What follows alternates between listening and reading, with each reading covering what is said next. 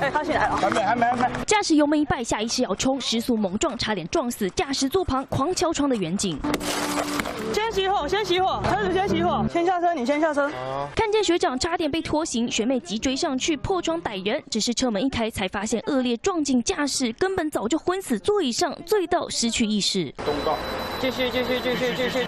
好，你已经涉嫌公共危险罪，酒测值高达二点五五毫克，离谱超标。远警还在车内搜出毒品，驾驶又醉又毒，在高雄中正一路上差点闹出人命。而在北市万华，则有小黄问奖，在醉客返家，被怀疑看他醉 A 他钱，醉躺车内赖着不走。他在车上，那个一大堆，安派出所了。哦，把身上仅剩的一百块放座椅上，表达不满。醉客指控问奖，车资才两百三十五元，却找钱不老实，害他钱包里头只剩这些钱。司机大哥的名片，不用，先收好。等你睡醒了，没放你口袋。我我不会欺骗他，我知道。要求给明细要对仔细，但问奖工称已归零跳表，无法提供明细。不不可能，你按结束之后，你再按列一，他还会再列一三次。早前罗生门，双方各说各话。警方建议醉客等清醒后亲自去趟车行要明细，好好厘清真相。这周新闻财生采访报道。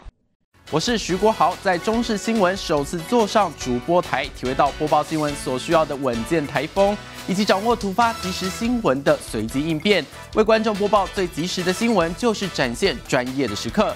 更多新闻，请锁定中视新闻 YouTube 频道，记得按赞、订阅、分享，并开启小铃铛哦。